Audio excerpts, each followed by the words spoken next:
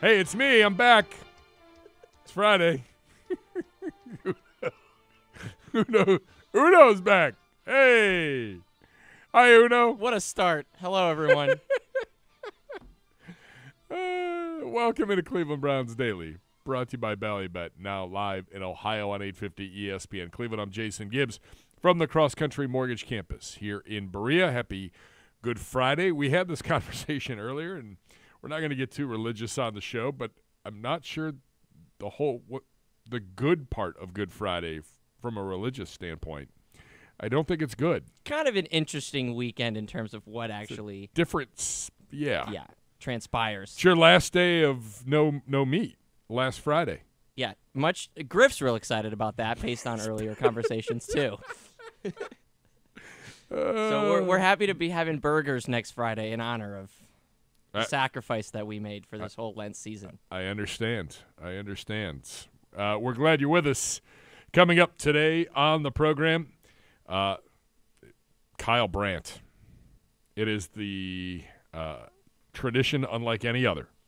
Breaking down the head coach photo from the NFL's owners' meetings. We play it every year. It's one of my favorite things to listen to. I'm selfish like that, and that's why you're going to hear that. Uh, we revisit the Shelby Harris Za'Darius Smith re signing day.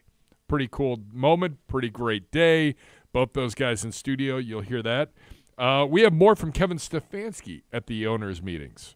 Uh, part two from the conversation earlier in the week with the head coach of your Cleveland Browns. Uh, in a CBD exclusive, Kelly Russo sits down uh, with Browns running back Nyheim Hines. Also, uh, a little Dane Brugler before the day is done as well.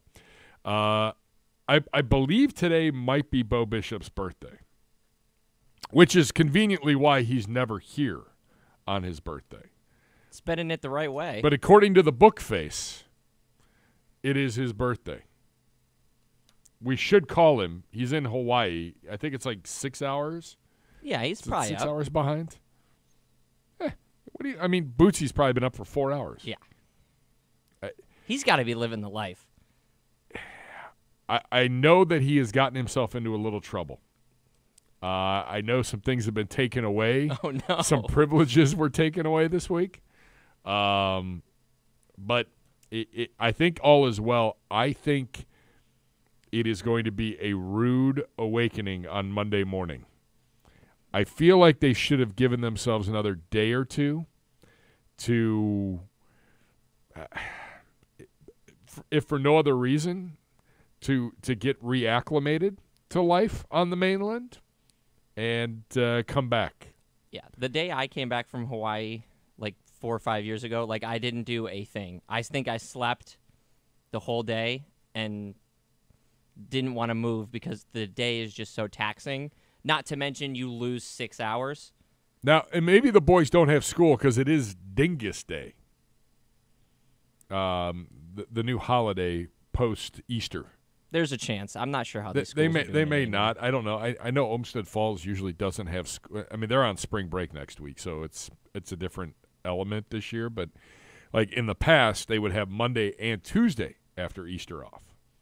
And I don't know if that just gives you a chance to you know get back and get reacclimated and uh, and, everything like that. But um, I- don't. eh, Maybe I, I would hope for the boy for Beau and uh, Mrs. Bishop's sake that uh, they've got a few days to get reacclimated because I think it's going to be quite the challenge to reprogram Bootsy after a week in Maui. Yeah, like you're, you're, and your whole time clock's gonna be off. He's gonna be waking up at 4 a.m. Yeah, yeah, or it's going to be a problem. Yeah. I don't know how this goes, but uh, I believe it is the one and only Beau Bishop's birthday. I'd like to also comment on one of his let's separate the spring break ideas because Chicago, Illinois needs to institute that. I saw about 750,000 students inside of Shedd Aquarium this week, and it was chaos. we need to separate this out. I know that's been Beau's big thing for the last few weeks is let's move spring break and let's have each school go a different time. The Shedd Aquarium was jam packed with people. on on Monday. All right. So Too many spring breaks happening in Chicago at the same time. I'm coming time. back to you on that. At Beau Bishop. B E A U. What's a Beau Bishop? Beau Bishop. It's his birthday. Flood his Twitter timeline. Wish him happy birthday.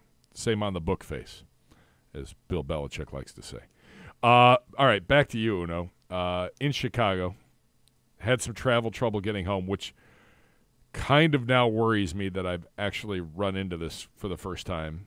Uh, the last time I was in Florida, it took me a couple days extra to get back, and I was essentially flying during the first day of legal tampering.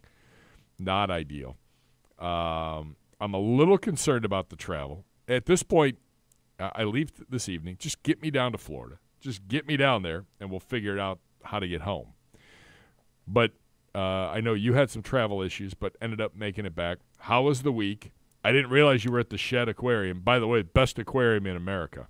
Yeah. So my girlfriend's favorite animal is a beluga whale. So we went last time we were there, and she probably spent two hours just down in the the whale area watching. We were watching the dolphins and It's that. crazy. It was so we wanted to do that this time, but there was just so many people in the aquarium this time that it was hard to just sit down there and watch. But it's just so cool, like how close you can get to the whales and the dolphins and the sea lions were out. We did a little sea lion show.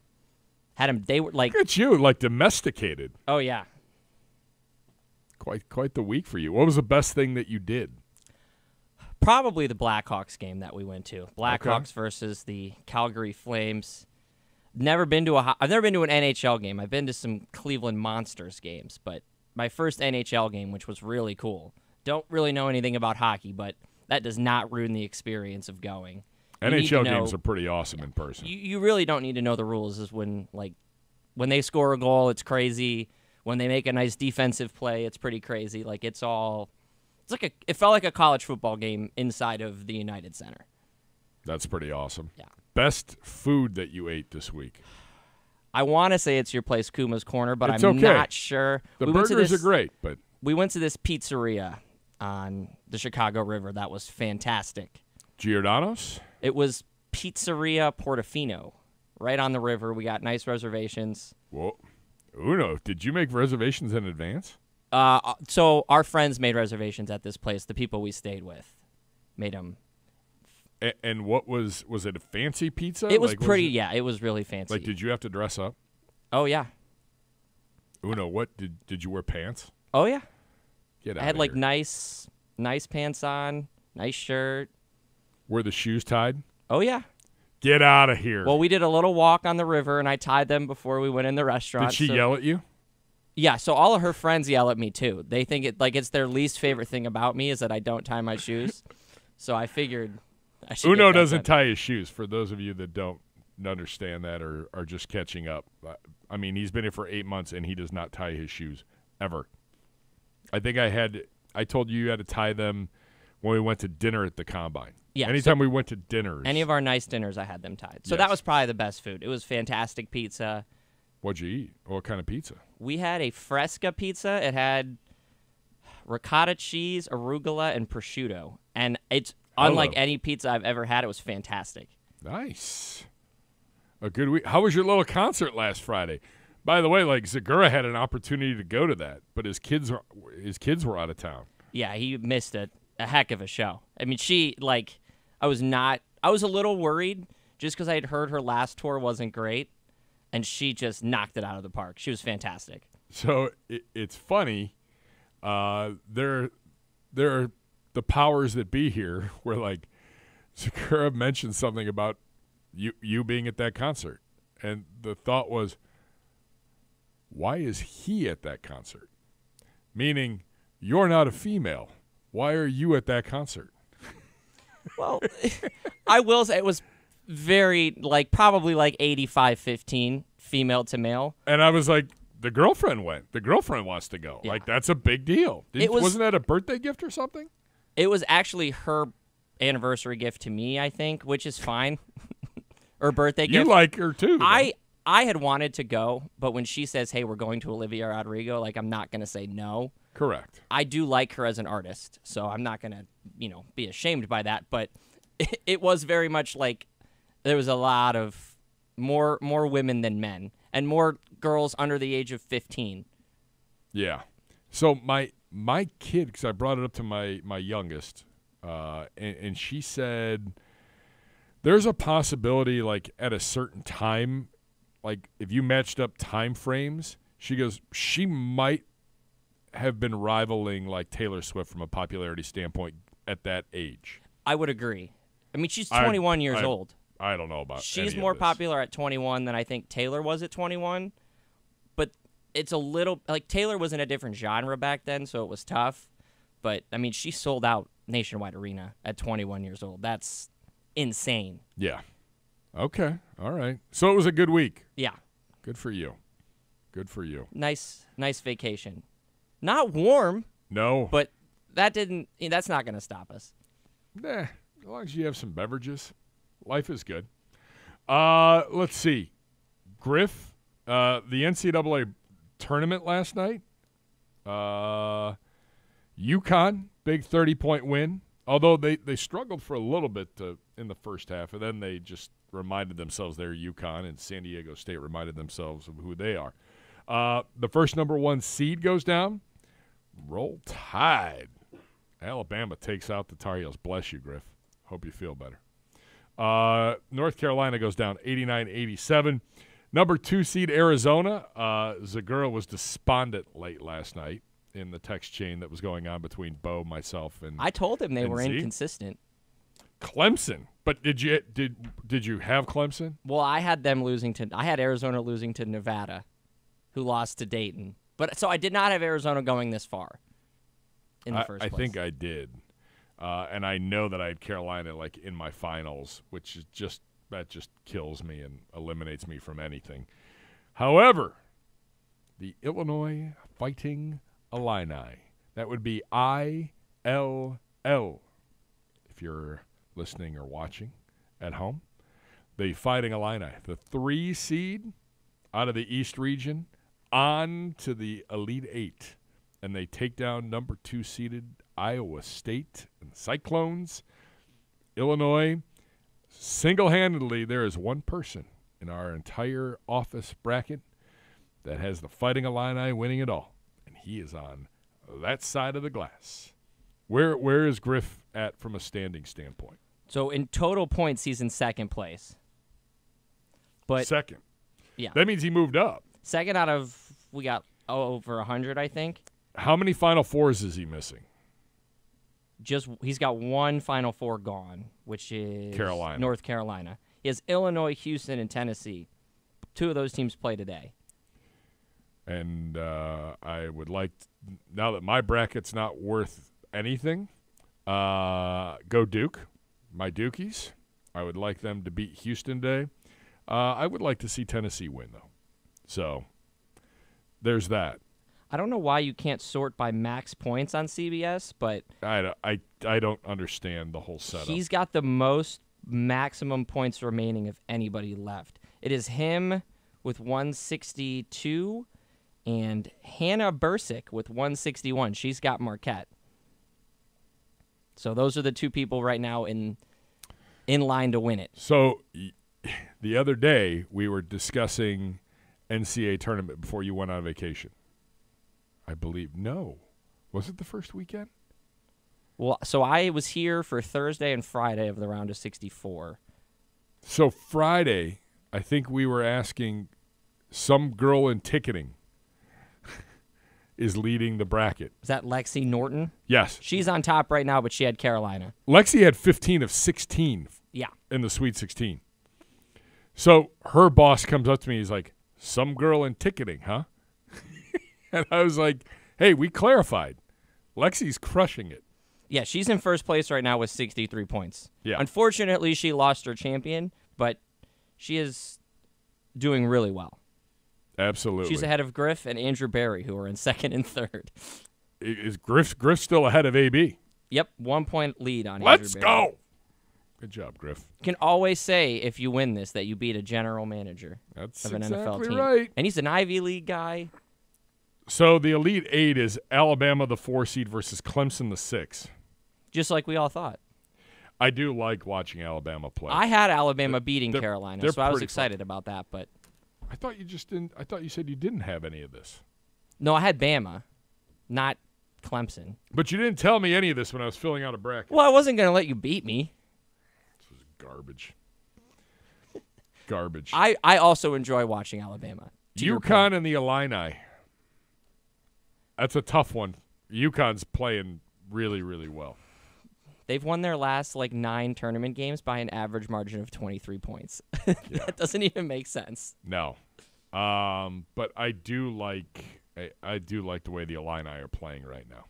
So uh, they are hot. I think that's going to be a must see game tomorrow night. Tonight on the docket, 709 from the South region. It's number 11 NC State, number two Marquette. I feel like NC State can get Marquette. It's going to be if that center Burns can That big boy. can do anything because Marquette's got a guy that can stop him. Like Oso Ighodaro he's is good huge. enough, but that guy is big. Yeah, he's got to stay. And Actually- Shaka's not good at winning in the tournament, so outside of one time. there's that. It, it's not just Burns; it's the two complementary big men because Burns only plays like 24 minutes a Yeah, game. that other the dude. other two can't fall out like they did in the last game. They can't run out of gas. Like those two have to have big nights uh, to open things up. I'm a little worried that they let the forward from Oakland foul them out, like what they're going to let this guy in Marquette do to them. But like they can hang if they just stay out of foul trouble, which I know sounds obvious, but that was their big thing against Oakland that almost cost them. Gonzaga and Purdue tonight. I, I'm almost rooting for the Zags. I think I am too. Um, I, I just I don't. Ike versus Edey, though, if you're into big man battling. Fine. The best move Edey has made in his college career is just continuing to stay in school because I don't think he can do much at the NBA level. He might have another year, Zach. If you have it, take it. Yep, I would. Uh, the late games, which is great because I land at like ten o'clock. Yeah, you'll catch the end of these for sure. It'll just be Or starting. maybe I feel start, like. yeah. that's I what I'm forgot I was like up to 1 a.m. 9:50 last tip. night Yeah, watching I these. know. Uh, Duke and Houston. Let's go, Dukies. Come on, come on. Playing with house money. As I told Uno earlier, they won the first round. They didn't get upset. I thought they might. They got through it, and after that, I'm like, whatever happens after that, I'm all in. Very good guards in this game on both teams. Really excited. Agreed. Uh, the other late game, I think it's going to be an awesome game. Creighton and Tennessee. Yeah. Is it the best game of the night? Probably, if you like offense, I think this is the one. Like, I don't know. I don't know if there's going to be a lot of defense, but if you like scoring, I think Creighton and Tennessee. Like, it could be one of those where it's like big shot after big shot from both teams. I'll take it. Yeah. I'm Dalton for- Knecht is a baller. Creighton's got the big three. They can all hit shots. I, I'm probably most excited. Of course, that's one right at the same time as the Guardians, but that's okay. Guardians, big winners last night. Congratulations to them. 1 to 0, 161 more to go.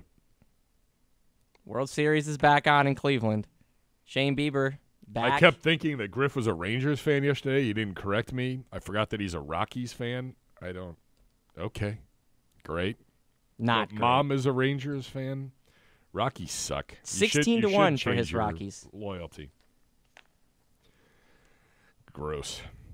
Uh, the hot topics of the day presented by Vivid Seats, an official fan experience partner of your Cleveland Browns. We're 19 minutes in. Let's get right into the OBM hot topics, and that is the Cleveland Browns 2024 offseason media schedule has officially been announced. All 32 teams in the National Football League have announced their media schedule. Off-season workouts. The player is going to be back in the building in just a couple of weeks. Two weeks to be exact. The uh, the 15th, the players start to trickle back in.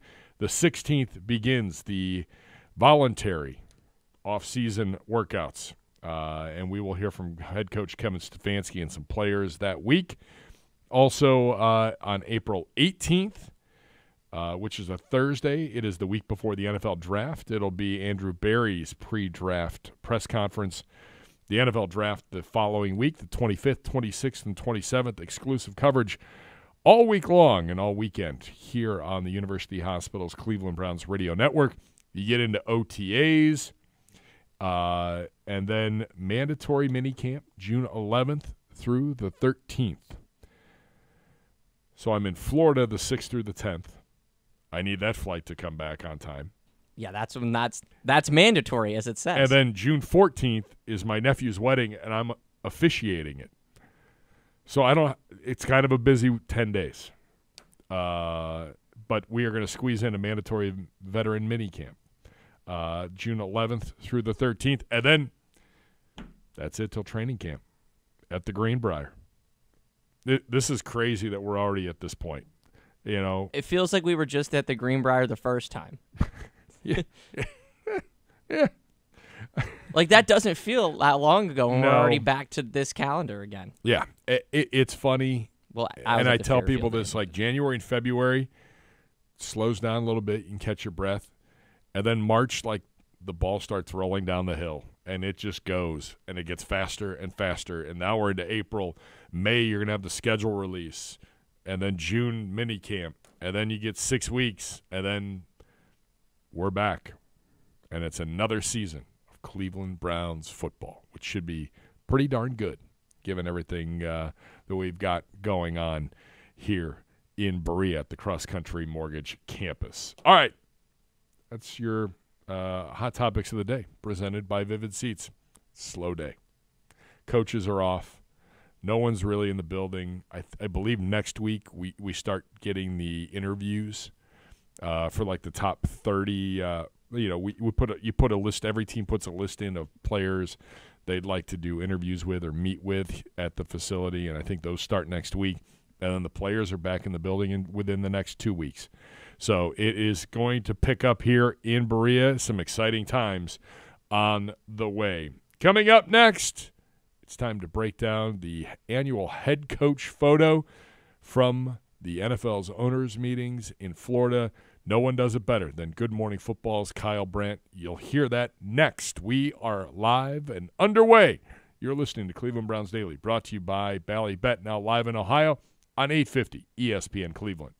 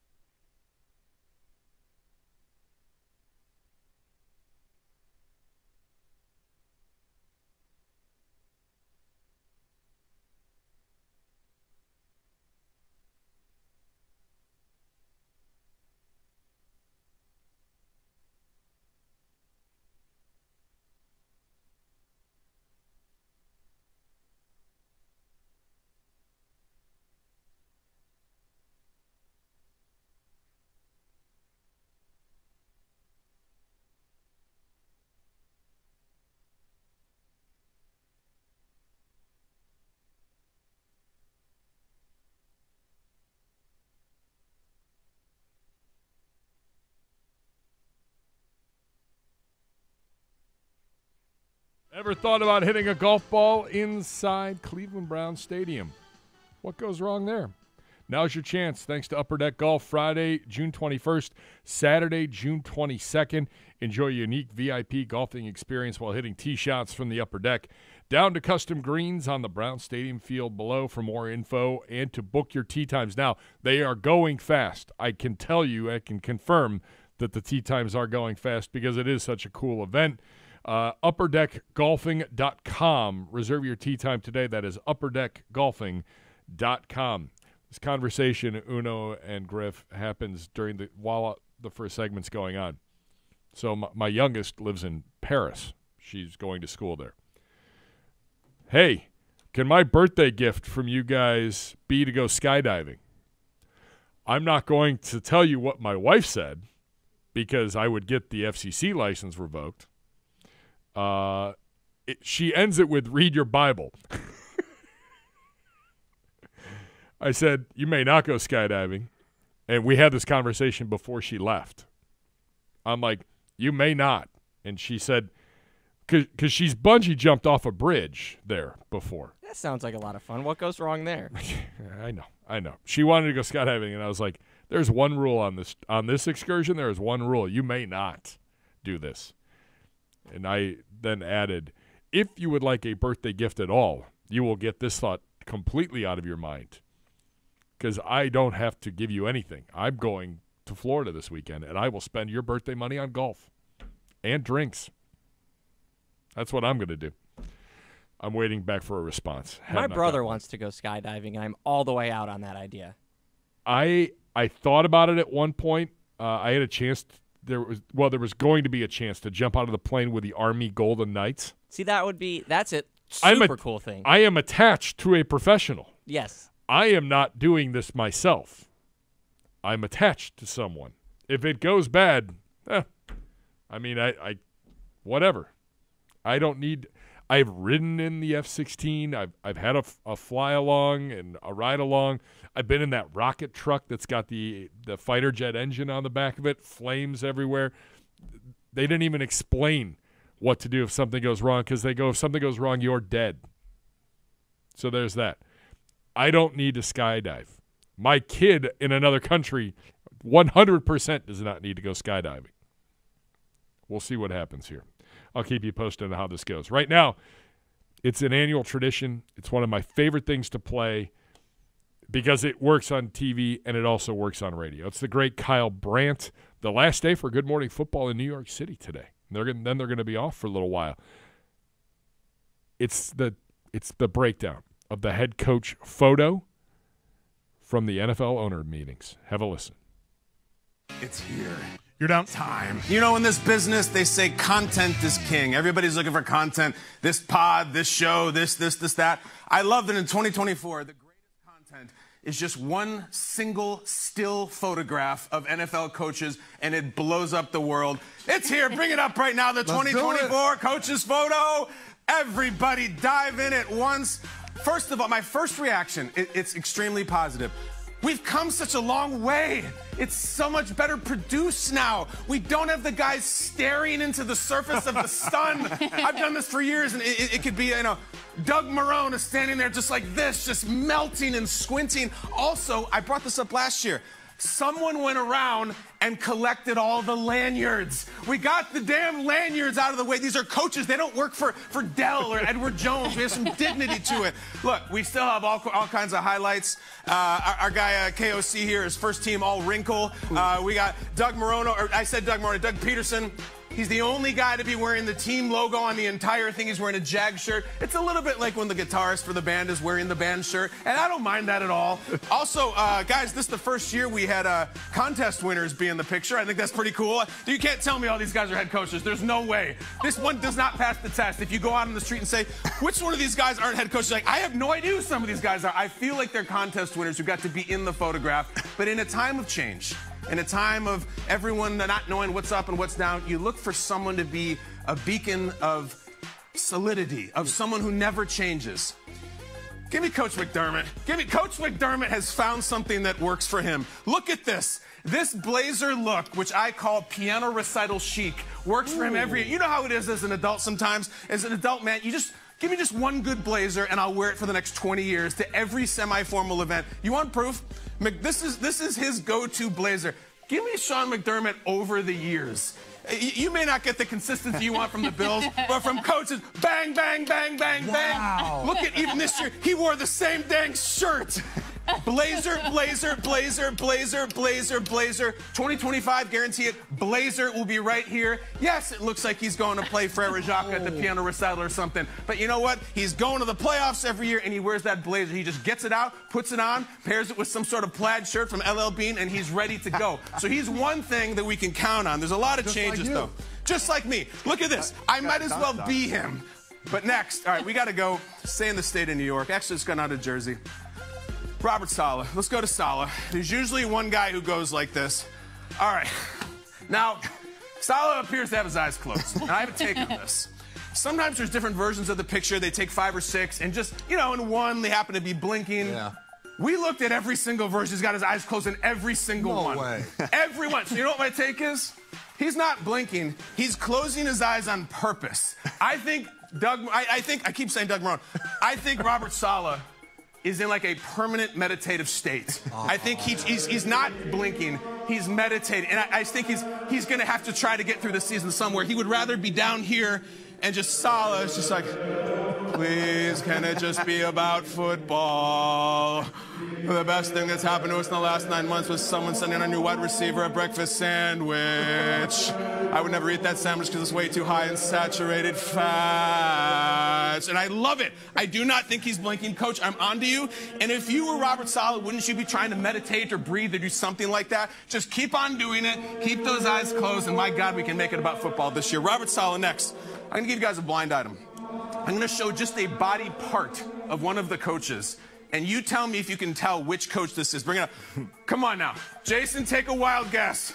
Oh, that's my guy, Money Mike, Mike McDaniel. That is, that is Coach Mike of the Miami Dolphins, who is cuffed up, who is sockless, who's got his hands folded. He's got the timepiece, not a watch, a timepiece. Oh. And you might say, like, what are you doing, dude? You're a football coach. Guys, he's in South Florida. He's the only one who has it right. Look at this disgusting cuff down here, stuffed in, half in, half out. He's all in, fully committed. Next year will be shorts. He's getting there step by step. Give me the wide shot of Mike so we can give him his proper credit. I love that he's on the hot corner. I love he's on the end here. He rolled up specifically so you could see the watch. It's all the things that you like. There's a matching shirt, a matching jacket, matching pants, matching loafers. I don't know how you do the sockless thing in South Florida. It must be disgusting like clam chowder in there, but who cares? We'll deal with that later. He's almost Mike, showing ankle. That's what I'm saying. He's showing some high ankle with borderline shin. We're almost up to the calf. Mike, you always go at it differently. We respect your look. Let's go to the guys now I call uh, Frata Beta Kappa. Let's go. Let, us go to Frata Beta Kappa. Yeah, guys, here we are. We're just we just ran shop at the Beirut table. We did some Dartmouth style pong. Back in the day with the new head coaches, we do atomic sit-ups, but that's frowned upon. I just got back from the Banana Republic outlet. I'm looking good. I'm Jack Shanahan, still in a trance from the Super Bowl. LaFleur looks great. This is great. I love these guys. Frat Central. So much gel. So much musk. They, are, you know, they're kind of guys who musk up and do one down south just in case. It's like these are my kind of guys. You know who they got their eyes on? There's a new recruit they're looking for in Frata Beta Kappa. Go to the other side of the picture. This one blew me away. Did you get a look at Johnny Gannon? Take a look at this dude over here. Bam! JG go! This blew me away. Biceps like crazy, oh. also sockless. John Gannon is definitely first team all fitness center in the hotel. Like he was in there when it opened. Also, I'm on to you and I respect this about your game. This is a pre-photo pump. You cannot tell me it's not. Chris, you know it. He got down and he did the, he did the close grips. He did like the diamond push-ups right down there before he came out. I do it before every segment. I don't blame you at all. But that is definitely a pre-pump. We got to start reconsidering. We like to credit Saleh and McDermott for how jacked they are. Gannon, my God, you look good. And it's all business here, mm. too. We talk about it all the time. Four wins last year, but they had great wins and they played tough. I like where this team. Imagine the odds if when the coach's photo came out and said, Jonathan Gannon wins the photo. What? Let's go. That's your Cinderella in March. That is your madness. The biceps are crazy. I love them. Gannon, who knew? Loafer game. Coming up next. All right, we got to take a sharp left turn here, guys, unfortunately. Uh-oh. Let's go to Coach Mayo. Let's go to Coach Mayo for a sec. Now, Mayo eating good, baby. Jason, mm-hmm. I know he's carving his own niche, and it's not Belichick. In the fashion sense, it's Belichick. All right, I don't know about the football, but dude, as a first-time head coach, to come out entirely collarless and short sleeve. I mean, this this is the kind of shirt like heavy shoulder wrinkles. Who gets wrinkles on the shoulders? This is the kind of shirt that like like you smell it before you put it on. And you like you make sure that like there might be stains on it. The stains might even be Mayo stains. I don't know. But Coach Mayo, I like the look. Right next to Meditative State Saleh and Zac Taylor, who people still don't recognize even though he coached the Super Bowl. the shirt is tough. I mean, if he had cut these off, they would be even more Belichick. He's going to forge his own identity. That wardrobe ain't happening. Let's go on to, from Coach Mayo. All right, let's go to some of the celebrities here. Give me the Harbaugh boys. Give me the Harbaugh boys. Mm. Right down in front. I mean, John, just rock solid. He's been in a thousand of these. I don't love the plaid, but fine, it's his thing. Just give me the chair. It, it's you know, there's a, it's been said about Jim Harbaugh. He just can't do anything completely normal. And Jim Harbaugh's here, and he's got all the vibe of like like a fourth grader on school picture day. He's like this, and it's like his mom just licked her hand and adjusted the hair. You know what it feels like when they say, "All right, everybody say cheese." Nobody says cheese. He says cheese. He says cheese, and he's just sitting there like this. And they take the photo, and it comes out a few weeks later, and your mom pays for it, and you get a button and everything. I also don't think it's a coincidence. He's sitting right next to Big Red. Right next to Big Red. He's just saying, listen, don't get too comfortable here. This is Chargers. This is Chiefs. I don't know how they do the seating arrangement. I've always wanted to know. But the fact that Harbaugh sat his butt down right there next to Big Red, our Jack Nicholson in the photo, I don't think is a coincidence. Who's up next? Let's all right. Let's go to Andy Reid while we're at it. Let's just do it. Every single year, I don't know if someone holds the seat for Andy, like there's one of those cutouts of Andy, like at an award show, you know, he sits there, or if everybody just waits. But he sits right down center every time in the Hawaiian shirt. Can we just take a quick tangent? Christ, look at Dave Canales. Talk about it. I knew you were going there. Now we know what it would look like if Jimmy Garoppolo was the head coach. Bam! That's that's that's Canopolo right there. And at some point, can we? I, I know Jimmy's bouncing around a lot. With the Rams now. Can we get Jimmy on the Panthers so these two can stand side by side and the TV melts? He looks like a like a racquetball instructor or something. He just looks so fit. But never mind him. That's just a tangent. Next to a contest winner, Andy Reid, and everyone's like, "Oh, he wears the same shirt every year." How dare you? I've proven this over the year. Bring up the Andy collage. This is everything we got on Andy going back to 2017 when he's in front of Marvin Lewis. That's how long it gets. Bang, bang, bang. They're all different. Even when he was in the back row, they've since shown him the respect of being in the front. It works for him. It's the Tommy Bahama chic. It's the shirt that you could spill a daiquiri on and no one would know. Or it's even actually better after the daiquiri. Andy Reid, fantastic where he always belongs, although right next to Harbaugh now. Let's get though back to the upper right corner. This is my favorite section of the whole picture, aside from the Fratabata Kappa. Give me the upper right corner. Look at these guys. Ballhead crew. Bung, bung, bung. This looks like cell phone bars. Like you got strong reception going on down here. Ding, ding. I, I got one bar. No, I got three bars. You can make a call.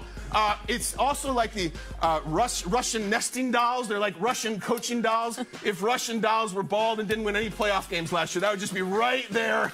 Incredible. This is a great, great section. That's true. Look at it's like you can do like the NBC chime, bong, bong, bong. I love those guys. It's like they could not have arranged it better. Big, medium, small.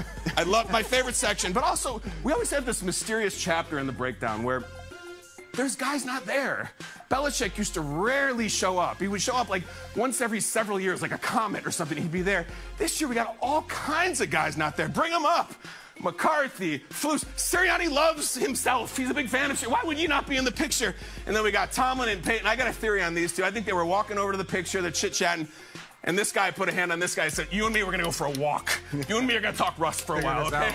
Tell me what's the deal with Russ. Oh, I, I love Russ. Just shut up. Stop lying to me. I, I, this is my first time here. Tell me the deal. And these two guys are walking on the beach and they're debating Russ Wilson because this guy couldn't wait to not coach him, and this guy just said, I want to coach him. I do like, you know who's got a cool look in his face? I know it's last year's picture, but I think he has the same look. Where's my guy? Where's my guy? There. Give me the flus. Matt Eberflus, ladies and gentlemen. This is the longest we've ever talked about him on the show, but he is not there. And you know what else I like in the GM photo that they do? Ryan Poles was not there either. Oh. These guys are working. Working. They got a new quarterback coming to town. They got a nine pick. I don't even care about the fashion. Pete Carroll, by the way, we miss you in the picture. You were there for decades. Eberflus smile. I don't know what the hell he's not doing there. He's not doing there in the NFC East. I like that look on Eberflus. I like that business pulse. Sort of mysterious. We run the draft. We are the guys in control. These two, we know what they're talking about. But that's it. Five coaches missing. We got wrinkled shirts. We got traps. We got meditating. We got fraternities. We got rolled up cuffs. Guys, let's go back to the main picture. Is there anything that I missed? Jason, I know you won and you're Mr. Fashion. I think with Mayo, that's a Patriots shirt. He has on team gear as well. It's just inside out. You said you pick it up, you smell it, there was a stain on the front side. Flip it around, just go with the all navy, the t-shirt, and it works. I gotta give love. You said John Gannon. Yeah. Absolutely right. Fashionable guy, fitless. He is worthy of it. You can tell by the loafers. If he stands up, those pants are going to be perfectly tailored You're all right. the way down to the T. Also, Dennis Allen, only coach in the photo with a hat on. Don't know where that is, but he has the hat on. The, my favorite comment is the contest winners. I thought you were going to go into the all-time, you were going to rank the contest winners, how they got there, and their background story. When you know you're in the confessional and you say like, "Hey, I submitted my Yes. video and I did this." I'm a big fan. For unbelievable, I love it. Thank you. Sarah. So I have a question. Yeah. And maybe this is a stupid question, but you alluded to it. Is there really a seating chart? Is someone is somebody going know. out there now? It, it makes me think that there is when you did the height when we went from solid to Quinn Sure. to Daboll that somebody set that up that Yeah. way. But Andy's always in the middle. I mean, I, I need to know this. Is someone down there arranging it? Do they all get to they sit with their friends? Do I they- like to do it by by tenure. You know, so Andy Reid is here. If that's the case, I don't know what the hell Canales is doing here. Harbaugh's been away for a long time. This should be John Harbaugh should be moved over. Tomlin's not in the picture, so he can't there, be yeah. here. I listen. I've offered for years to go down there. I want to do red carpet arrivals, and like I want to ask, you know, uh, How many curls? I want to ask Raheem Mostert, like, who are you wearing? But how, we know how many curls he did. Arm day was not ready for Coach. He did them all. He had those adjustable dumbbells. He had them all the way up. Hogan, get in here. By the way, how about the miracle of this thing? No mention of Dan Campbell. All I can say, he's got alpha vibes. He's got a Dan Campbell shirt. He looks great. How many great. cups of coffee did he have before? A lot, a lot. Especially some of that special, like uh, that French press coffee. He probably absolutely loves it. The can man is right there looking great. Some guys just sit there and do nothing. Jim Harbaugh's incapable of being boring. Some guys just sit there and do nothing. Anything else, Hogan? I mean, you got to mention McDermott's dunks that he has on too. With I know he's he rocks the same top, Yes.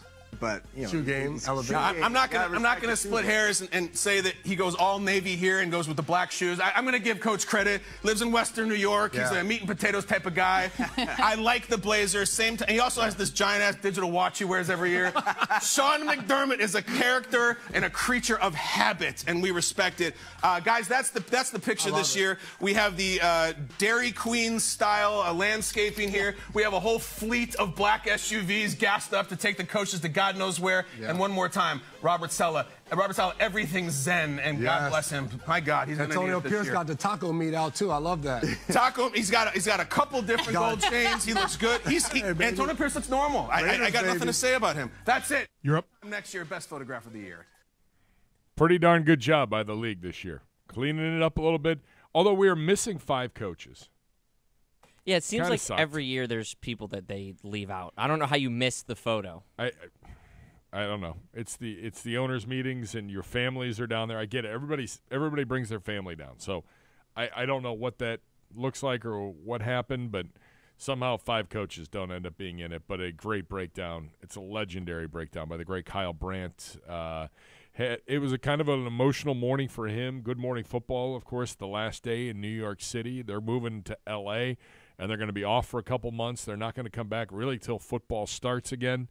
So, uh, kind of rebranding and doing some stuff, but it, it sounds like he's going to be around and going to be a part of it. And uh, whatever it looks like, looking forward to seeing it and uh, appreciate his uh, his efforts because they're always legendary. All right, when we come back from this quick timeout, in quick couple minutes, and we're going to be right back. Uh, we're going to take you back a few weeks. The highlight of NFL free agency for your Cleveland Browns, outside of the acquisition of Jerry Jeudy, uh, would be the re-signing uh, of Za'Darius Smith and Shelby Harris. Why? Because their interview was epic. It was in studio. It was with Zegura, and we will hear that interview next when Cleveland Browns Daily continues. Brought to you by Bally Bet on 850 ESPN Cleveland.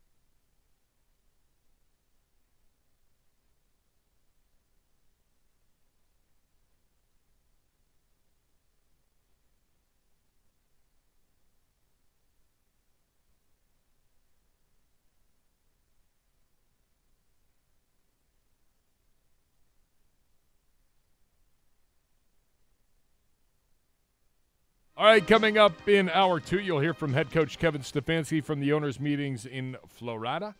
Uh, Kelsey Russo, our senior staff writer, sits down with Browns running back Nyheim Hines in a CBD exclusive. We'll also hear from draft analyst Dane Brugler, the great Dane Brugler, uh, whose draft guide should be coming out later next week. Knock on wood. Usually comes out the first week in April. Looking forward to having the Beast out. Looking forward to having him back with us as we get closer to the 2024 NFL Draft, April 25th, 26th, and 27th. I'm Jason Gibbs here from the CrossCountry Mortgage Campus in Berea. Time to hear from uh, two gentlemen that decided to come back and play on the defensive line for your Cleveland Browns. It was a fantastic afternoon here in Berea and in the CBD studios when Shelby Harris and Za'Darius Smith joined our own Nathan Zegura. Have a listen and have a watch.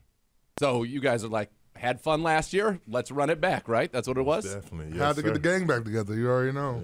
Yeah, yeah. and think about Za'Darius in your room. I mean, it is literally the gang back together. Myles, you, Alex, Obo, Obo. Isaac, Yeah. Isaiah. I mean, you got Isaiah. the whole crew back together. Was have you had that before, where you've gone like five straight guys back to back seasons? Uh, I never had that in my career of football. Nope.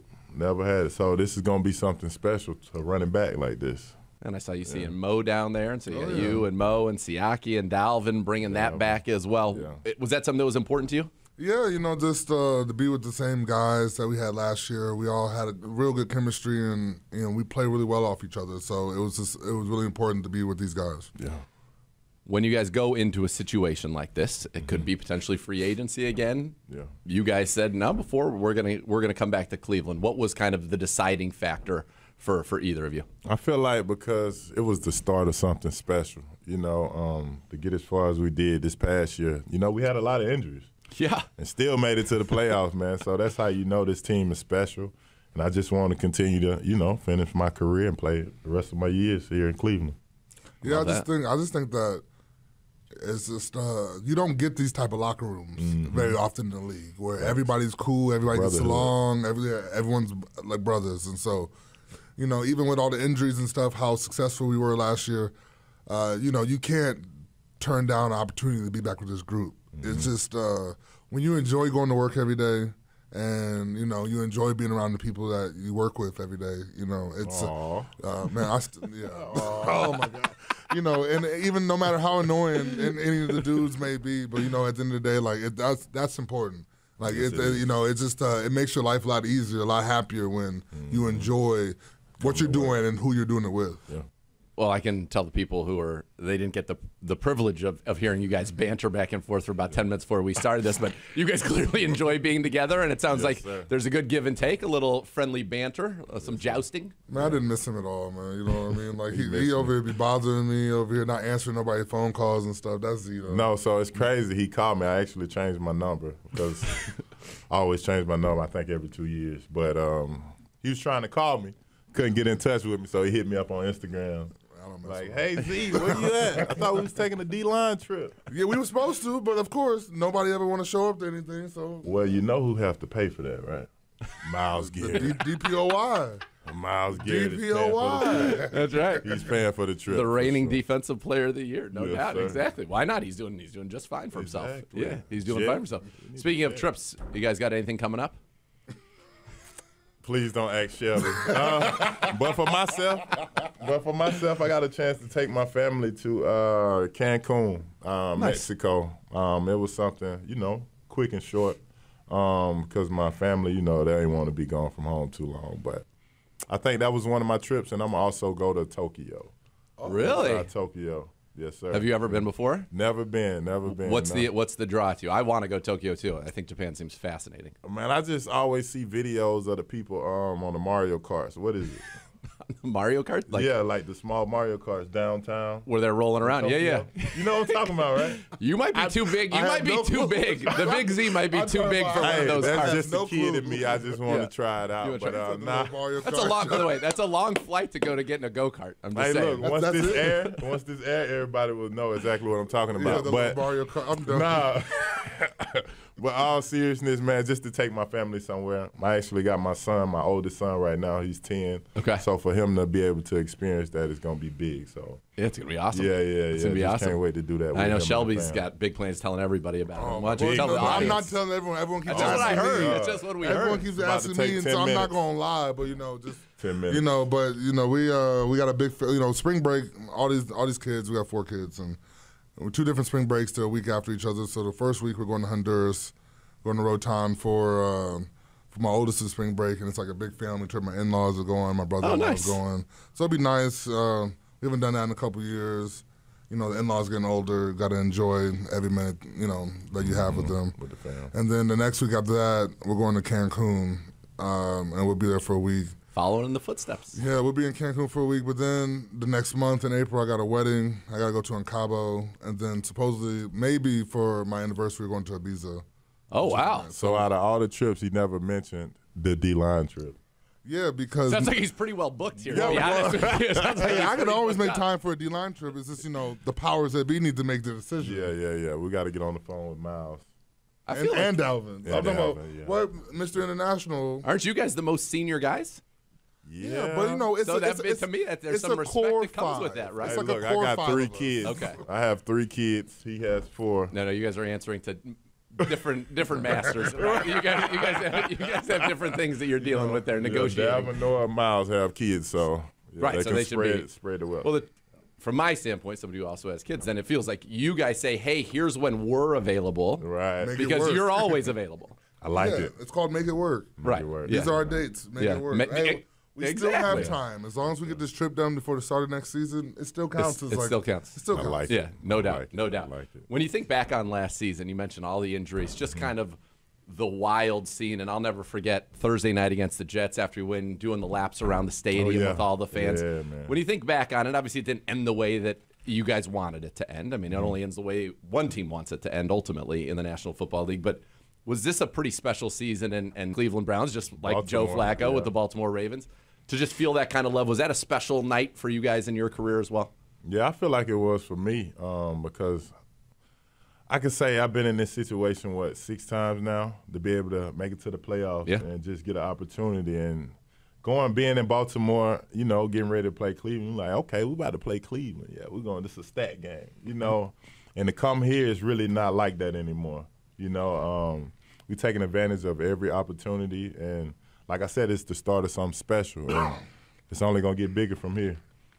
Absolutely. I, I just think it was just to be a part of something with this fan base, mm-hmm. and you know, everyone's always heard about how crappy the Browns have been. Let's just be honest about it. Like you know what I mean? Like Not know, anymore. No. Well, no, and that's No, the sir. thing though. To be a part of that, you know, the, like the changing of the guard, to be a part of the, you know, this new Browns era that's coming in. Mm-hmm. That's what was cool about it. You know what I mean? Because even before the season, like when I got here, nobody expected anything of us.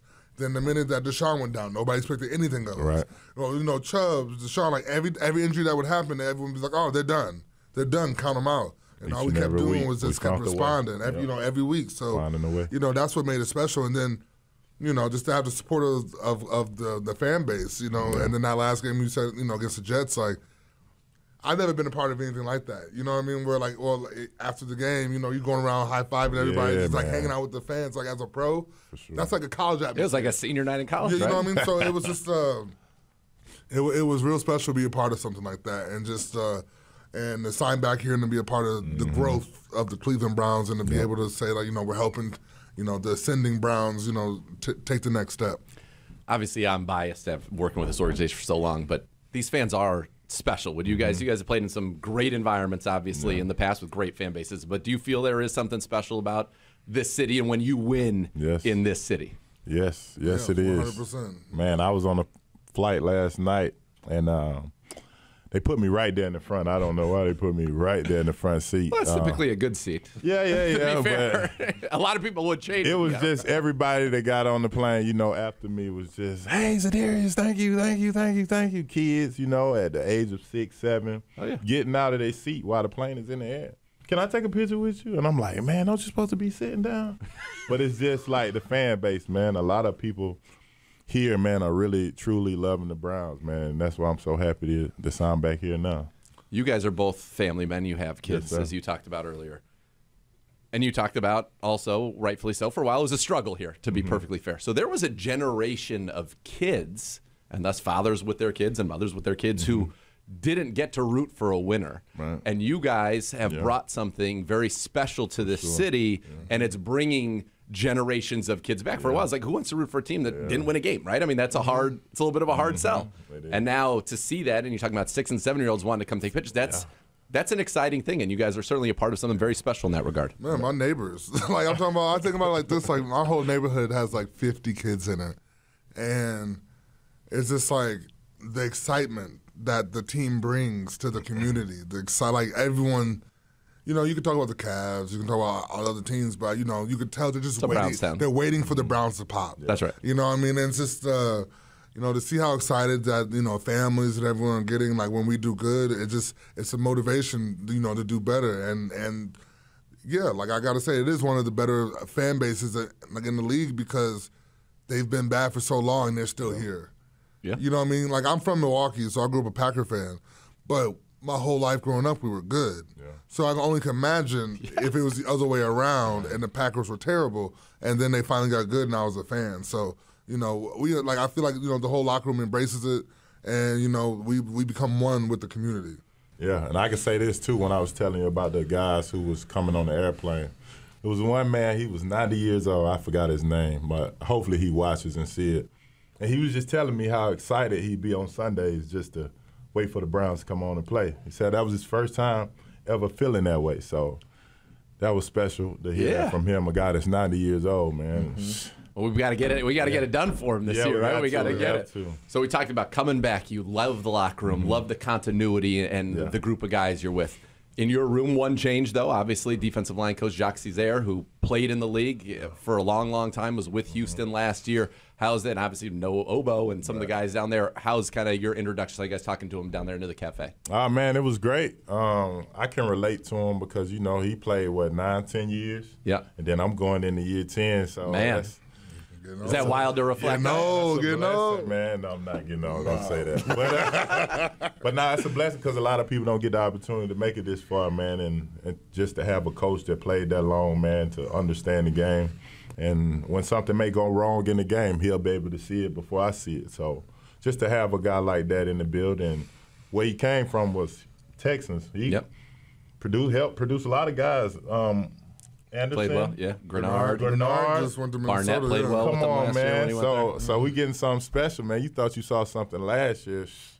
Wait till you see this D line this mm-hmm. year. By the way, ten years of the league, not a gray hair. Congratulations. no Is that, is, that, is that supposed to be a shot or something Look like that? Shelby. Because Look at Shelby. Don't let the frost on the a roof fool you. gray That's I say I this because uh, I'm going into year 11, and I say this: give him one more year. One more year. Give That's him one difference. more year. That's the Give him- difference. Give him Take one more year, and he's gonna get these grades in the beard just like I do. No, don't wish that on me. Don't wish that on me. No, Guys, sir. congratulations. I'm sure, you know, going into free agency probably could be somewhat where am I going to end up? What's it going to be like with families, all of that, to be able to come back, know that they wanted you back right away. Yeah. You wanted to come back. It's awesome. So welcome back. Congrats and looking forward to a big season after all of your so adventures much. around the world, especially yours. Oh yeah, thank you, appreciate it. Shelby. All right, for Za'Darius Smith, Shelby Harris, thanks for tuning in. We'll be back with more Clean Browns Daily right after this.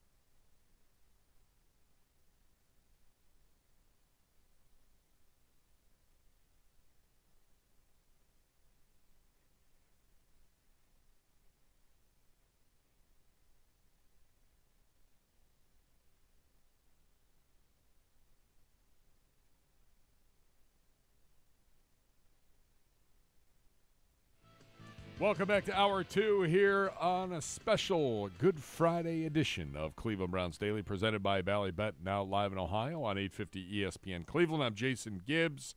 The boys are back on Monday. Happy birthday to the great Beau Bishop. I believe it is his birthday. He quietly walks off and disappears during his birthday, and according to the book face, it's his birthday. So shout him out at X at Beau Bishop, Beau Bishop on Facebook. Shower him with praise and love as he spends. I, I'm assuming today's the last day in Hawaii since it's got to be like a, a 14 hour excursion back home. Yeah, you need to give yourself. I feel like they got to come back, to work. tomorrow. Yeah. Yeah. I, but who knows? He's Sunday supposed has to be, sleep all day. correct. He's supposed to be back on Monday. Zegura back on Monday, uh, and the band back together on Monday. We hope you have a great Easter weekend. Now, coming up this hour, special CBD one on one with Kelsey Russo, our staff writer, and new Browns running back Nyheim Hines. Also going to hear from Dane Brugler. Right now, though, from earlier this week in Florida at the NFL's owners' meetings and the head coach breakfast. We played part one of uh, Kevin Stefanski's little meeting with the media earlier this week. Here are some highlights that we didn't get to from earlier in the week. Wanted to get these to you. Some quick hitters on this Friday. Have a listen.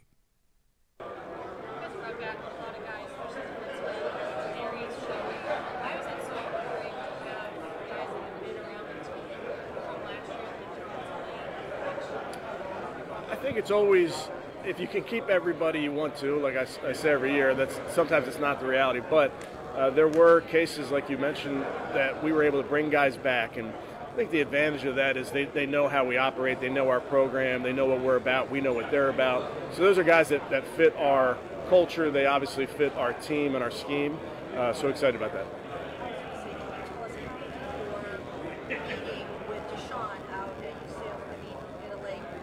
Yeah. Yeah. That was great. Uh, Ken and I flew out there, spent 24 hours in LA, went out to dinner with Deshaun. Uh, he's in a great place uh, physically. It's beautiful out there, uh, but he's, he's doing a great job with his rehab. So, really, it was more of a me checking in, you know, catching up with him, and then starting to develop a relationship with Ken uh, was really the most important part.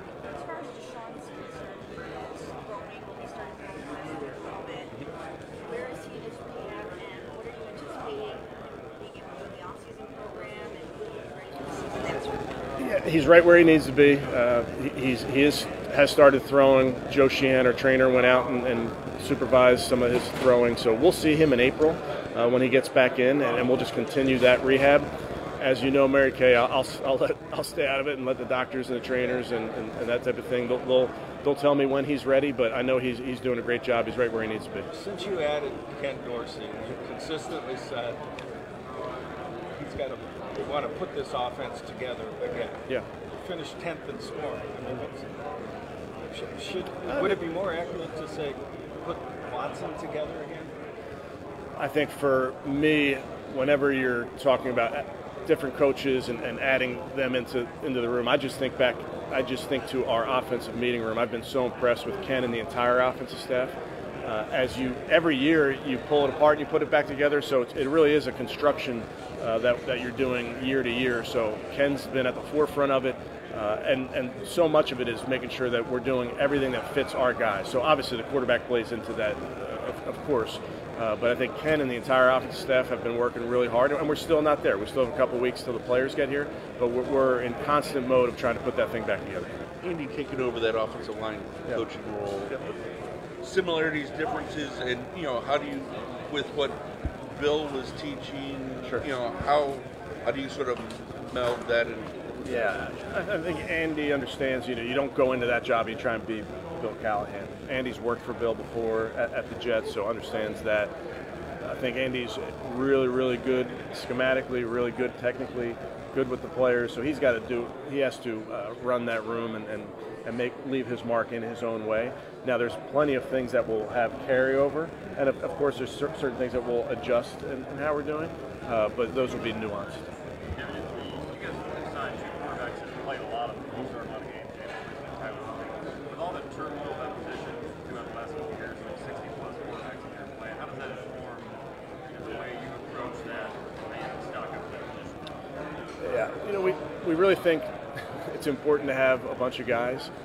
Uh, obviously, your, your goal is to have your starter healthy for all 17 games and beyond. That, that's every every team's goal. Uh, but you, we know that, that that is a position that's important for the football team, both in the meeting room, on the practice field, around the locker room. So we uh, feel like adding good players is a good thing at that position. Kevin, with, with Huntley, was there any surprise? Like we went through the first wave of free agency and he's there. Right. So did you guys kind of circle back and talk about? Yeah, uh, we've competed against him, so he's somebody that certainly was on our radar. We know what type of player he is. So uh, when he was available at, at, in that time that he was available, we felt like it was a really good fit.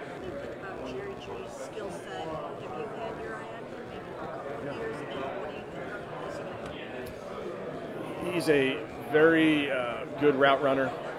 Can win with at, at, every level. Can win at the second level of separation. Good with the ball in his hands.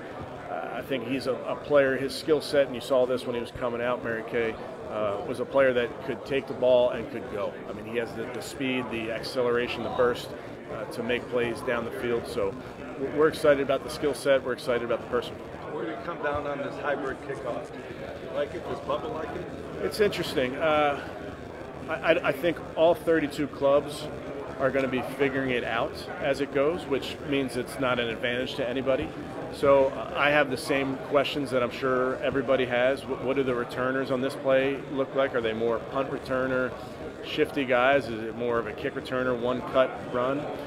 the guys on the kickoff team, do you, do you need more length? Is it is it bigger bodies as opposed to speed like before? I don't think anybody knows that. I think that's that's the exciting part for us as coaches is to get on the board and, and talk about it. Obviously, Bubba and I have been spending a lot of time on it already uh, in anticipation of it passing, uh, and then it, then how it factors into your roster construction, all those type of things. So I think everyone, uh, if it passes, will, will be working that out on the fly. Is he in favor of it? I think we're in favor of certainly we want to keep the foot in the game. Uh, we're in favor of the, the play. How what everybody decides on what the exact proposal is, we'll work through that today, I believe. Uh, but we're certainly in favor of adding a, an exciting play to our game. Coach, what would you say is uh, the most important factor in developing a young quarterback?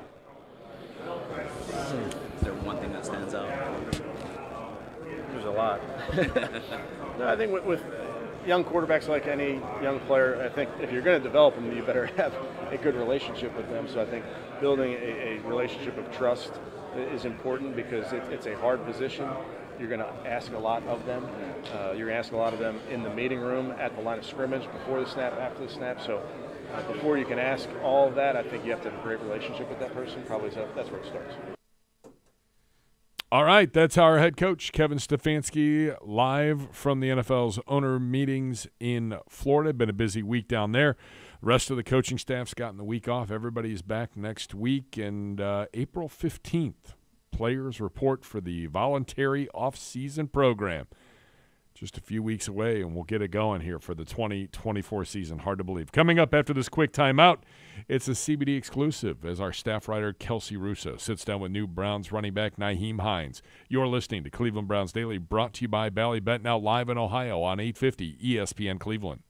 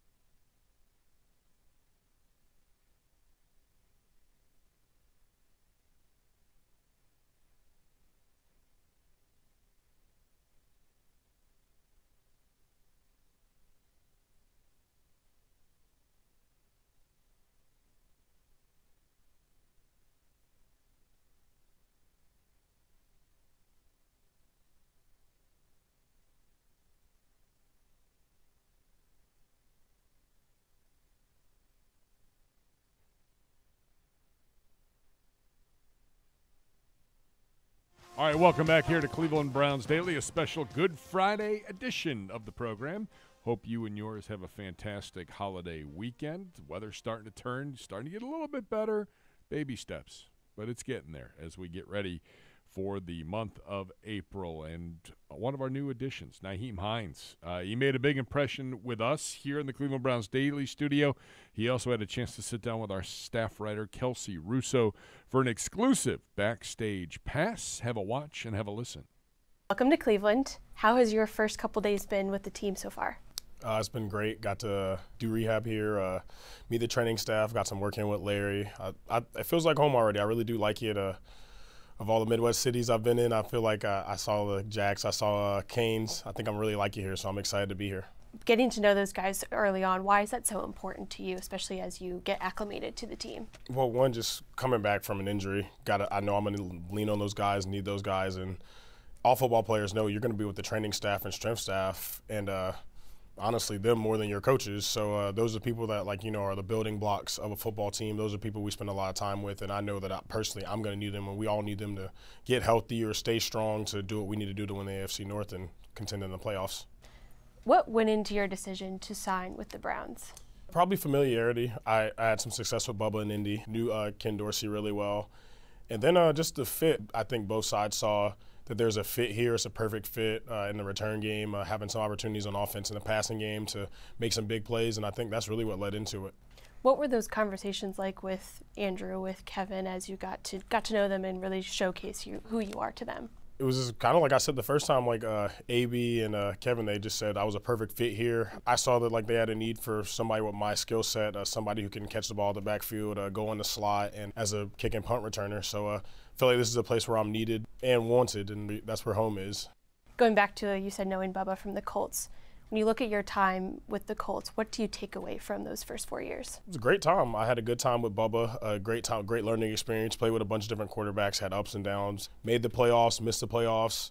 Needed to win one of the last two games to get in the playoffs. Lost both of them. So I uh, feel like I've had a full career, except for you know getting to the AFC Championship and going to the Super Bowl, in which I want to do, and I think this team is good enough to do it. Cleveland has a great defense, so as a punt returner, I'm excited. Hope we have a lot of three and outs. I'm really excited to be a part of this culture. It's a very blue collar, hardworking city. I've seen a lot about Cleveland, heard a lot about the dog pound. It's a really good fan base. You know, when you were with the Colts, you established yourself as a pass catching threat out of the backfield. Why was that so important for you to establish that, and what about your versatility in this game can be really beneficial for you? I think uh, just I've always had that skill set. When even when I played running back in elementary school, high school, college. I always played slot. My dad always did it, and uh, I genuinely believe I'm one of the best at what I do. And uh, there's not many dual returners in the league to begin with. You only do kick and punt return, and then I also can catch the ball well and run in between tackles. So I think I can kind of do everything, but. Uh, Got to come out here and earn it. Uh, Nick Chubb's here. I'm excited to play with him. Uh, Jerome Ford. There's there's some good players here that I've seen over the years. So uh, I'm just gonna get in where I fit in. But I think I'm one of the best at what I do, and I'm looking forward to getting back and proving it. Speaking of Nick and Jerome, when you look at this running back room, obviously Nick's coming back from an injury, but how do you think you can complement them and how you guys can improve the run game this coming season? It's like thunder and lightning. Like both of those guys are obviously bigger than me. They pound. They're, they're pounders. They run hard. Both of them. Uh, Nick's a dog. We all know how Nick is, and Jerome he was he had he's been really good in Nick's absence. So uh, for me, I think they they're going to do a lot of the banging, and after they do all that banging, the guys have to come chase me. So uh, I think it'll be a little bit of thunder and lightning. Uh, I'm not scared to stick my nose in there too, but uh, I'm really excited just to compliment these guys. I think I'm a little bit different than both those guys, and I think uh, they check some of the boxes that I don't check, and I'll check some of the boxes that they don't check, and I think that's what will make us really great. You touched on it a little bit, but you know Ken Dorsey now being here as offensive coordinator, he was in Buffalo when you were there that familiarity, what why is that so helpful for you as you make this transition to the Browns, knowing that he is the offensive coordinator here?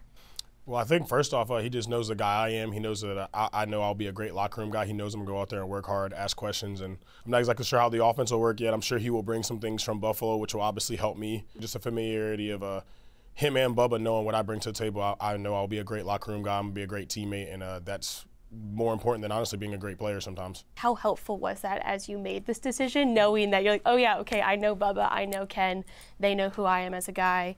Uh, why was that so important for you? I mean, I think it was really great just to you know have familiarity. But I think the thing with me was really when I met the other guys. When I met uh, Kevin and AB, and I've known Duce. Uh, Duce was actually uh, my pro. He actually did my pro day when he was in Philly, and I've had some familiarity with him. The other three guys I don't know, I have a really good feeling about them, and I have confidence in them. And uh, my job is to get here and work hard so they have confidence in me. What was that meeting like with Duce for the first time?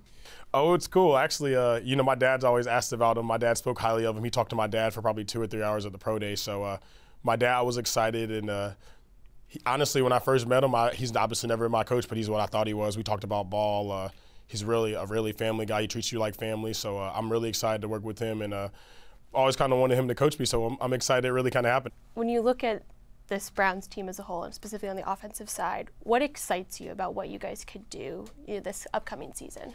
Well, I mean, there's pieces here. I mean, we have we have a good run game. Chubb, obviously. Uh, I played against Deshaun for like 10 years now, playing against him in college for two years and playing against him for five years in Indy. And then, I mean, you good quarterback, great team. You got Amari Cooper out wide. We just got Jerry Jeudy, Njoku. Like, we have pieces here. Off the field, what do you want Browns fans to know about you? One, I have a twin sister. Y'all will see her. Um, Two, I'm the national spokesperson of the Muscular Dystrophy Association. It's my fourth year going. Uh, my mom has limb girdle muscular dystrophy. Um, everywhere I've been, I've met families, certain places, and had a ticket block community. Had met, met fans at games, so I'm excited to meet the fans with the MDA. I think the last thing is I love music, so uh, y'all, the fans will probably see me playing my guitar on Instagram, playing the drums, uh, playing rock band. So uh, that's really my three things. Okay, let's break those down because those are all really, really cool things. so, first, music. How did you get into um, guitar, into all of those? All those. I was in the band in middle school and high school. Played the saxophone. Don't really pick up any of those much more. Played the drums when I was younger. My uncle taught me, and been playing the drums ever since I was younger. And then uh, since my surgery, I've always wanted to learn how to play guitar. So I got some lessons, and just went for it. So I uh, can play some Paramore songs, can play some of my favorite songs on the drums and, and uh, the guitar. That's awesome. Okay, going back to um, being a spokesperson and your mom, obviously that's incredibly important to you, but what made you want to become a spokesperson and really just dive into um, into that aspect? Genuinely speaking, I really never knew anybody who went through it in high school or college, so it's kind of hard to go through things. You don't have like you, all your friends' parents are healthy. They're all they're at all the games. Going on to the league, I started a, the Hines Heroes ticket block, so I used to pay for like ten like uh, ten people. It was like two or three families, pay for their seats, meal. I'd meet them. I'd meet them every every Sunday at 10:30 at home games, and from that work, it just became the national spokesperson of the Muscular Dystrophy Association. I'm so gracious because I've met so many families in the past seven years that are going through something that I've went through. In my, the first 21 years of my life, I didn't know anybody. So having family like the McGlynn's in Indy, or P, or the the Shinnemans in uh, Indy as well, just they're still calling me, texting me. I still get updates on my man Jordan. Just seeing people progress and not giving up hope has been really big to me. Well, it's really really great to get to know you and get to meet you. And welcome to Cleveland. Thank you so much. I'm excited to be at the Dog Pound. Right, that's Nyheim Hines, our new uh, running back, sitting down with our own Kelsey Russo. We'll take a quick timeout when we come back. A little draft talk with Dane Brugler. You're listening to Cleveland Browns Daily, brought to you by Bally Bet on 850 ESPN Cleveland.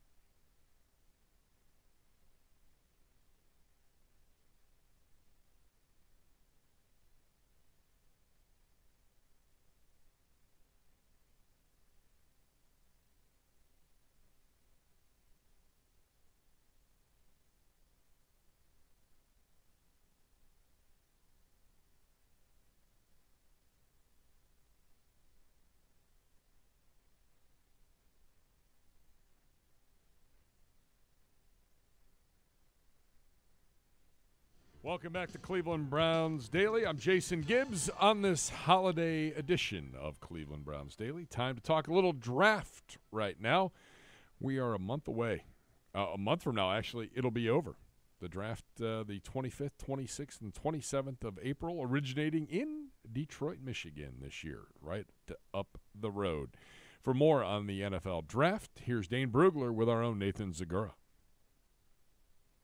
Welcome back to the Combine. Time for one of the treats of our trip to Indianapolis every single year as we are joined by the draft guru of the athletic, the author of The Beast, the, the greatest draft guide in human history.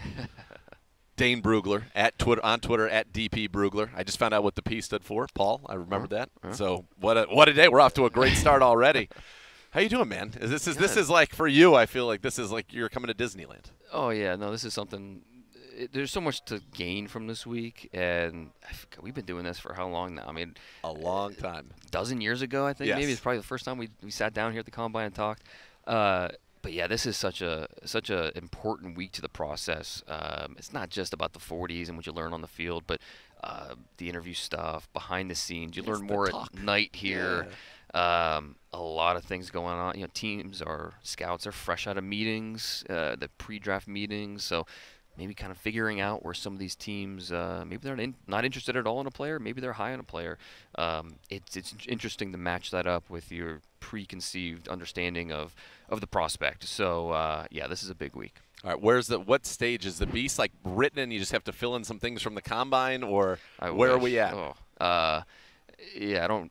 Don't even tell me how many more days are left until the draft because it just gives me anxiety. Uh, you got plenty. It's the end of yeah. April. You're safe. No, the, yeah, like two months. The month of March doesn't happen for me because Yeah. it's just yeah, it's trying to finish it. There's probably 200 p- profiles just done. You know, they're ready to go. It's just yeah, add in the pro day information, combine information, ready to go. Um, but then there's another 200 I want to go, um, and that's figuring out okay who are the last 100 that get full profiles, and then the other 100 that are more abbreviated. Because every year, you know, Sure. we have 320 players here, and so, but I want to get at least 400. So, who are the 80 player next 80 players I need to do? Um, every year, there's about 35 non-combine guys drafted, making sure those guys are in the draft guide. Um, hasn't hasn't been since I 2000 or uh, yeah, 2016, the last time a player was drafted who wasn't in the beast. So, got to keep that. Okay, uh, keep gotta that going. Keep that we'll going. knock out. Gibbe's knocking on wood for you. I like that. So to find those guys, is that based on your relationships with scouts from 100%. around the Because they're like, we're talking about this guy.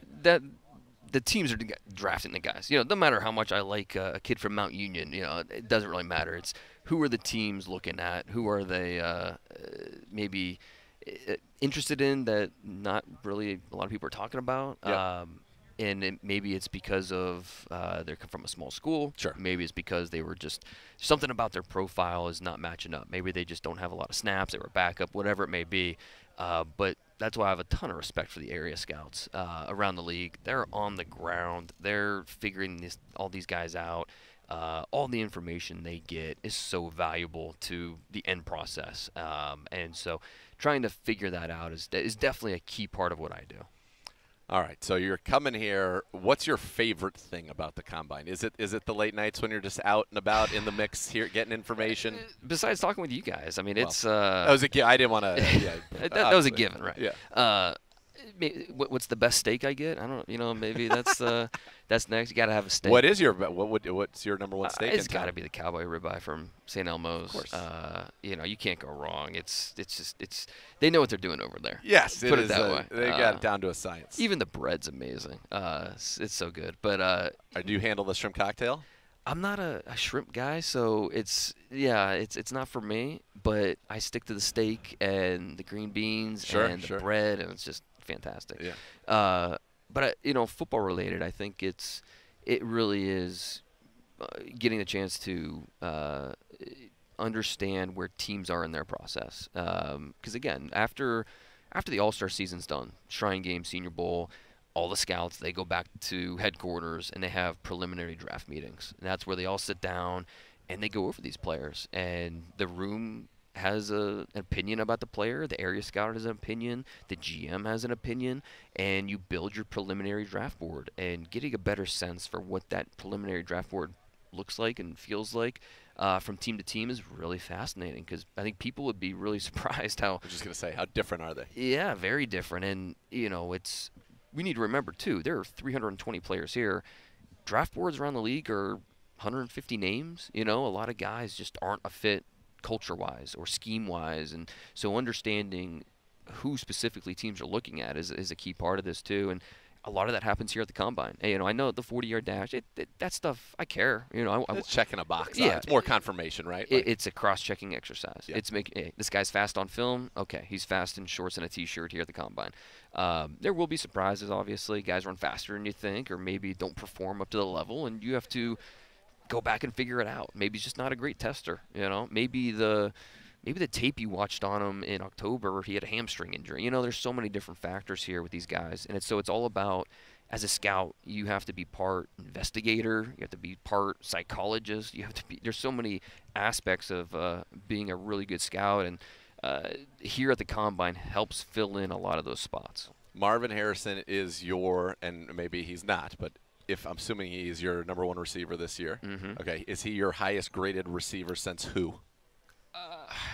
Probably Julio Jones, I think. Okay. Um, I think. uh, it- okay, so that's a whole- that's a while. He's got a very similar grade as Ja'Marr Chase did coming out. So uh, Ja'Marr Chase would be the name that it's like okay, the, very similar grades. But but then before that, we're talking, yeah, Julio Jones. Before that, we're talking Calvin Johnson. I mean, the best receivers that have come out. Generational. Absolutely. Um, it's just there's you can nitpick him, but what are the weaknesses? You know, like what what are the things that are going to hold him back? Yeah. And honestly, I would throw Malik Nabers in there as well. I think there's a like razor thin gap between Harrison and, and Malik Nabers. Both s- these guys are. So if you're in the top ten and wanted a receiver, you're, this is a good draft for you. you better be in the top six because I don't know if they're if it just put Rome Odunze in there Yep. as well from Washington. If you want one of these guys, you probably need to be picking in the top seven to make sure you get him. If I'm say like I'm the Bears at nine, and I'm gonna take Caleb at one, and then I would love to get one of these receivers to pair with DJ Moore on the outside and really make my offense the best it can be. I don't think I'm gonna get one at nine, so I'm making calls see what it would it cost for me to go up to seven to make sure I get one of these guys because you look at it, quarterbacks are going to go one, two, three, most likely. Yep. Whether the Patriots pick third or they trade out of there. Yep. I think quarterbacks go one, two, three. Marv- Cardinals, Marvin Harrison Jr. probably. Yep.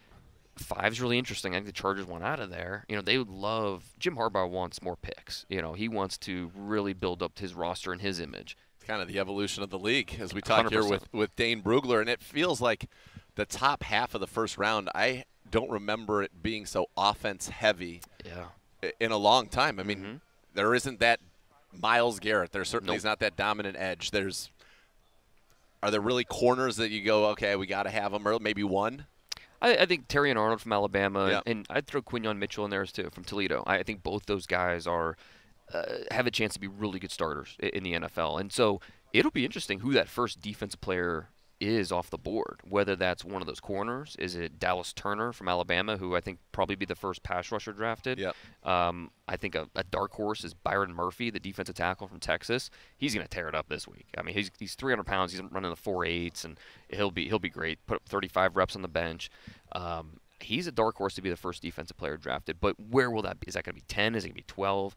You're 100% right. This is if you need if this is a if, if you need one of those premium positions, quarterback, tackle, wide receiver, this is the draft for you if you're picking top 10.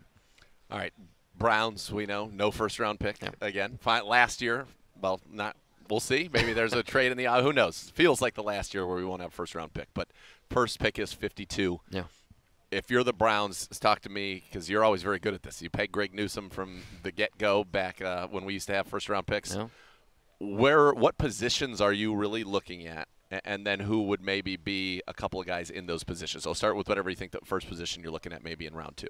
Yeah, you know it's tough, obviously, because you don't know how those first 50 picks are going to play out. Sure. So you have to let the board fall to you. But I'm convinced that wide receiver is going to be a deep position every year between now and the rest of the time. Yeah, it's just how the best athletes. That's where they're going because they want the ball. And if you're Yep. not good enough to be a quarterback, and there's only one quarterback in every team, you're going to be playing receiver.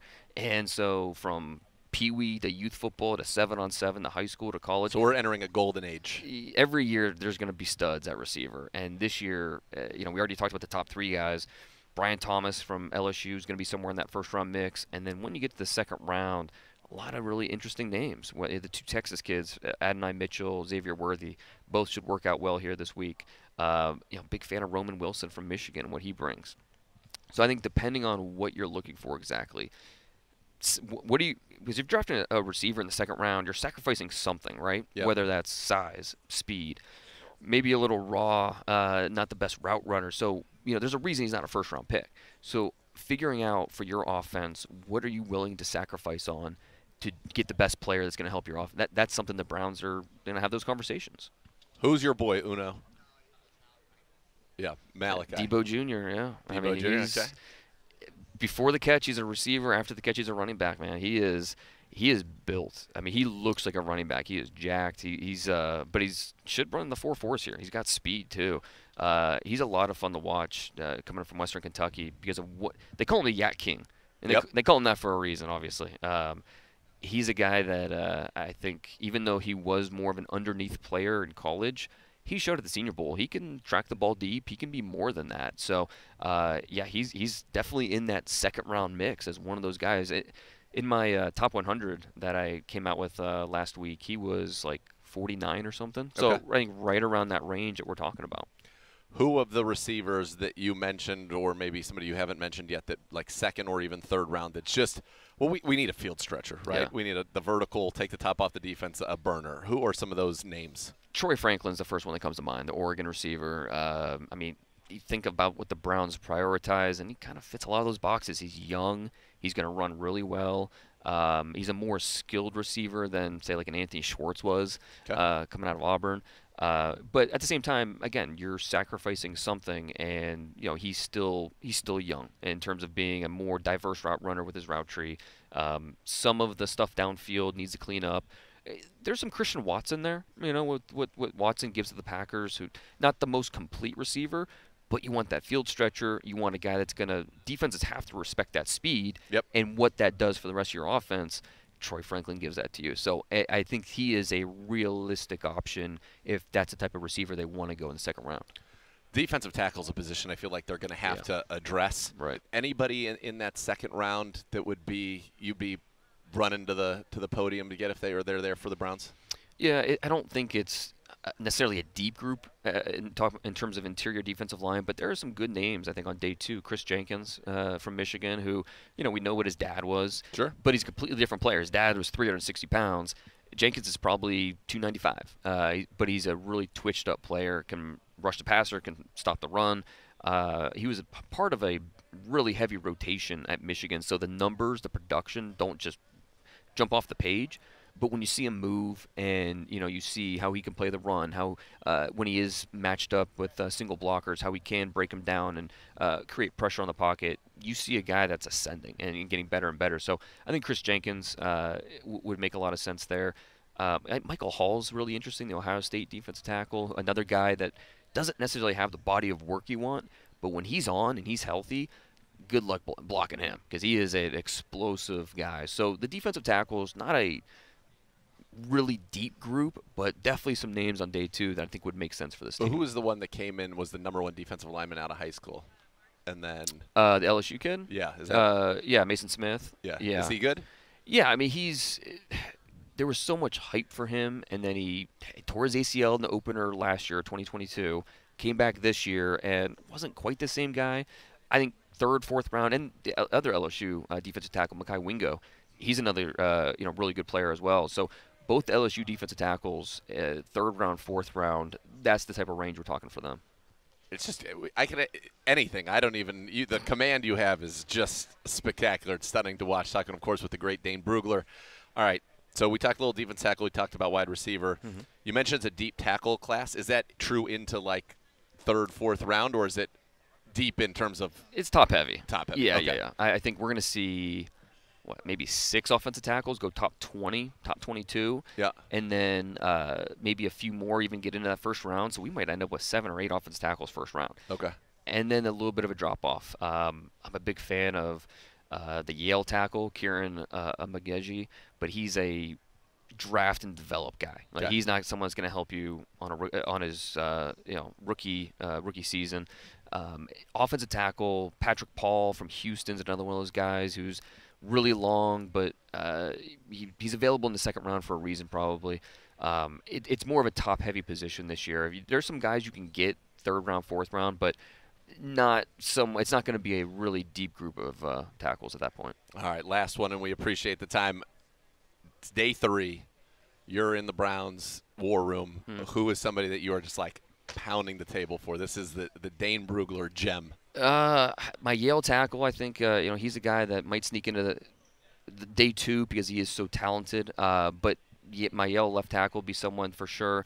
You know, Austin Booker, uh, the pass rusher from Kansas. I, I, I think the secret's out on him, and he might be going second or, or uh, day two now. But I think Austin Booker from uh, Kansas is, could be one of those guys. He, I think someone the Browns would be really interested in because he's young. He hasn't played a ton of football, but you're you're buying low and just watch the ascension with him. Um, Andru Phillips from uh, Kentucky. Uh, he's a really scrappy, athletic player. Didn't have a ton of ball production in college, but you love the traits, and so I have to sacrifice something with him. Of okay, course. Didn't have the interceptions, but you know what? I think he's a day one nickel and a guy that's gonna you know make my secondary better. So a lot of uh, yeah quiet prospects that I think teams around here are kind of hoping they stay quiet. Well, write those down, folks. The great Dane Brugler. We're gonna get the beast. You got to subscribe to the Athletic. You get it as a part of your subscription. That's That's best deal that there is. When when can we expect the beast roughly? Uh, first week in April is always the goal because you want to get goal, all the pro day information in there. Uh, and th- those run through all the way through March. Um, but yeah, somewhere in that first week in April. But yeah, if you're if you're a fan of the draft at all in any capacity, y- this is a must-have for you. It's So, a must yeah. have it because your team's going to draft somebody. You could immediately go and Yeah. become an expert on them and You understand find exactly out, why. Yeah, what's his older brother's name? Yep. What's his? Uh, where would he grow up? What? How many sacks did he have as a freshman? And all that stuff. True story. This is true. I don't know if I've told you this before, but your guide always helps me. So I'm the first person that when we draft somebody, they Mhm. talk to. Your guide always helps me. I love it. Get a personal anecdote in there that they then can relate to because it Right. is that thorough. You Yeah. have you've got it all. So you're you're a master at DP Brugler on Twitter. The great Dane Brugler. Thanks so much, man. Appreciate Anytime. it. Thanks. All right, we got one minute left to go here on this Friday. Uno, Griff fun fact of the day since I screwed him over yesterday. Since 1994, Duke has made seven Final Four appearances and won three national championships. Yeah, they have. But it's been 30 years since Duke has beaten a higher seed in March Madness. They're 0 5 when they're facing teams with a higher seed. The last time they did it was 1994 against the Purdue Boilermakers. They have a chance to right that wrong tonight against Houston. Four and a half point underdogs. Are Let's Blue go, Devils. Devils! Let's go! Take care of business. Hopefully, I'll get to watch some of it as That's well. my squad too, Gibbs. Arnold. Yeah. Oh, Hey, go I've got but- I've got some stories, buddy. I've got some stories. Got to travel with him and everything else. So, uh, Uno, have a great Easter. Griff, have a great Easter. Kevin Arnold, I can't see you. Have a great Easter. I hope everybody has a great Easter as well. Bishop and Zegura back with you on Monday. The next level is indeed next. I'm Jason Gibbs. Thanks for watching. Thanks for listening to Cleveland Browns Daily, brought to you by Bally Bet now live in Ohio on 850 ESPN Cleveland.